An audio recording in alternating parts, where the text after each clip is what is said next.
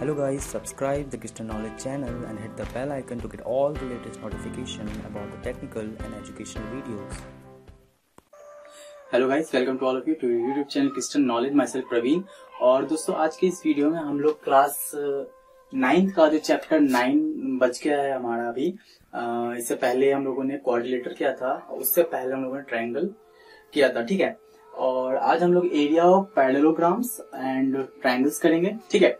तो इस चैप्टर से पढ़ने से पहले आई होप कि आप लोगों ने कोऑर्डिनेटर और मेरा ट्रायंगल का जो वीडियो है आपने देखा होगा। अदरवाइज़ आपको फिर ये चैप्टर समझ में थोड़ी सी प्रॉब्लम हो सकती है। सो so, मैं आपसे ये रिक्वेस्ट करूँगा कि आप उस वीडियो को पहले ज़रूर देखें। ठीक है? तो इस चैप्टर को शुरू करने का करने से पहले ये ज़रूरी है कि आप वीडियो को देखें। ठीक है? और आई होप कि आपने इस चैनल को सब्सक्राइब कर लिया होगा आपका अपना ही चैनल है एजुकेशन चैनल। और शेयर कर दीजिए अपने दोस्तों के बीच में लाइक और कमेंट ज़रूर करें कि वीडियो कैसा लगा क्योंकि बहुत अ, नहीं ज़्यादा बट थोड़ा सा मेहनत ज़रूर लगता है वीडियो को बनाने में ठीक है? तो इस चैप्टर को शुरू करने से पहले हम लोग कुछ टर्म्स पर ध्यान देंगे जैसे कि कोऑर्डिनेटर जैसे कि हम लोग इससे पहले के चैप्टर पढ़ा था और उस कोऑर्डिनेटर चैप्टर में हम लोगों ने कॉन्ग्रेंट करना अ, क्या सकते हैं कि उसमें हम लोगों ने इससे पहले के चैप्टर ट्राइंगल में हम लोगों ने कॉन्क्रेंट करना सीखा था। Side angle side angle angle side ठीक है? R H S side side side इस सारे टर्म्स के हेल्प से हम लोगों ने कॉन्क्रेंट करना सीखा था। कोऑर्डिनेटर में हम लोगों ने trapezium rhombus kite parallelogram rectangle square etcetera etcetera के बारे में पढ़ा था और उसमें हम लोगों ने ट्रायंगल का कॉन्सेप्ट यूज़ किया था। उसी तरह हमारा जो नाइन्थ चैप्टर है तो अगर नाइन्थ चैप्टर की बात करें तो हम लोग अगर पैरेलोग्राम से पैरेलोग्राम हमारा एक टर्म आता है, एक ट्रायंगल, एक टर्म आता है और एक टर्म हमारा आता है एरिया, ठीक है? तो इन सारे टर्म्स के कॉम्बिनेशन से हम इस चैप्टर को शुरू करेंगे ताकि आपको दिक्कत ना हो। तो अगर ट्रायंगल जो चैप्टर हमने पढ़ा था, उससे अगर कोई कॉन्ग्रेंट टर्म को हम निकाल कर लाते हैं, ठीक है? ट्रायंगल चैप्टर से। और जो हमारा ये पैरेललोग्राम और ट्रायंगल तो वर्ड है ही, ठीक है? वर्ड तो है ही, और एरिया हमारे पास एक वर्ड है। तो इसको, इसकी शुरुआत इस तरह से कर सकते हैं कि आपके पास जैसे दो फिगर हैं, ठीक है?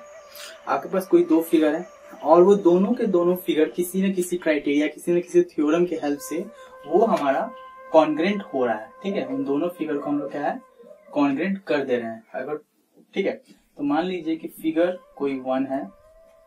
अब वो फिगर आपका कॉन्ग्रेंट है फिगर टू के। ठीक है? फिगर वन है और फिगर टू दोनों आपस में कॉन्ग्रेंट है।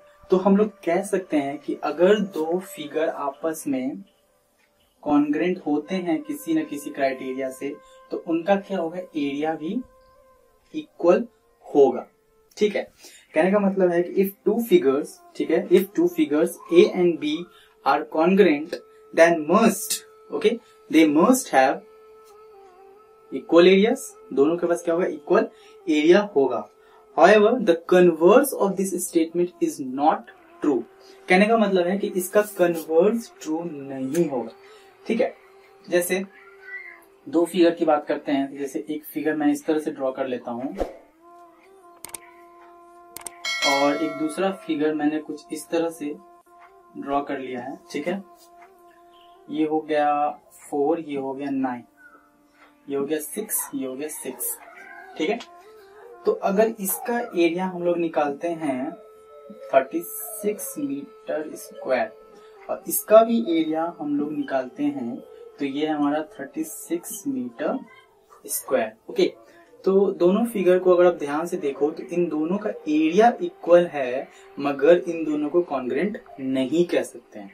सो so, दो का एरिया इक्वल हो सकता है मगर ये दोनों कॉन्ग्रेंट नहीं है ठीक है?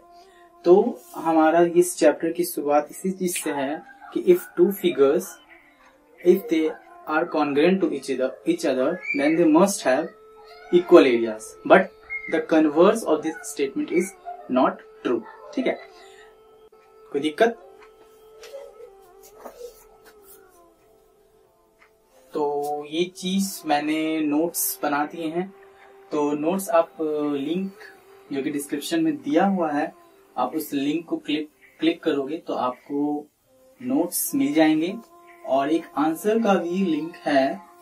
जब आप ये एक्सरसाइज करोगे तो उसका आंसर भी मैंने दे रखा है, ठीक है? तो आप लोग एक्सरसाइज बनाइए क्योंकि मैं एक्सरसाइज की वीडियोस नहीं बना पा रहा हूँ। तो एक्सरसाइज आप लोग बनाइए अगर डाउट आता है तो आप लोग व्हाट्सएप नंबर मेरा कमेंट बॉक्स के थ्रू ले सकते हैं, और उस पर अपना क्वेश्चन भेज सकते हैं, ताकि मैं उसका सॉल्यूशन दे सकूँ, ठीक है? अब थोड़ा आगे बढ़ते हैं। तो एक फिगर मैं ड्रॉ करता हूँ।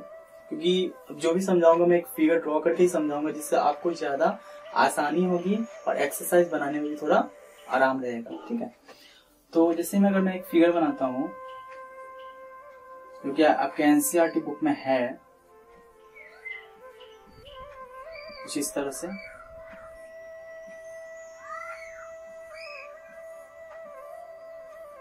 ठीक है? तो इसको मैं ए बोलता हूँ, इसको मैं बी बोलता हूँ और होल को टी से इंडिकेट करता हूँ, ठीक है? तो इसको देख करके मैं एक चीज़ लिखता हूँ कि जो फिगर है हमारा टी ठीक है? तो एरिया के अराउंड इसको लिख सकते हैं कि area of figure A plus area of figure B is equal to area of figure T कहने का मतलब area of T is equal to area of A plus area of B ठीक है? इस फिगर से मुझे इतना ही बताना था, ठीक? और इस फिगर के हेल्प से दो स्टेटमेंट आप चाहो तो लिख सकते हो जो कि सिमिलर ही है कि कहने का मतलब ये कि प्लेन है आपके पास, ठीक है? ये नॉन ओवरलैपिंग प्लेन है, एक दूसरे को ओवरलैप तो किया नहीं इसने।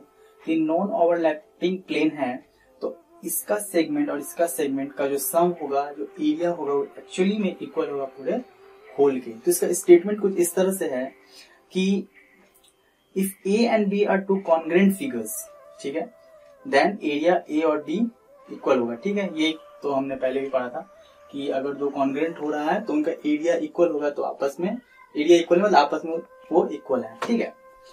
दूसरा स्टेटमेंट कुछ इस तरह है कि if a planar region found by एक प्लेनर रीजन है प्लेन पे है रीजन है okay form by figure T form by figure T is made up of two made up of two non overlapping made up of two non overlapping planar region formed by figure A and B मैंने note में P N Q लिखा है, ठीक है? ए and B ले सकते हैं। Then area of T is equal to area of A plus area of B ठीक है? तो ये दो स्टेटमेंट्स हैं। आप नोट्स में देख लो। और एक्सरसाइज एनसीआरटी की करते रहो। और कोई दिक्कत हो तो आप कमेंट में नंबर मैं आपको दे दूँगा। व्हाट्सएप नंबर उससे आप क्वेश्चन व्हाट्सएप कर सकते हो। ठीक है? आगे बढ़ते हैं। आगे हम लोग एक फिगर में ड्रॉ करूँगा अभी। चार पाँच फिगर ड्रॉ करूँगा, जिससे कि आपको कुछ नया स्टेटमेंट उससे निकल के आएगा। ठीक है? तो पहला फिगर आप देखना। हमारा जो पहला फिगर है,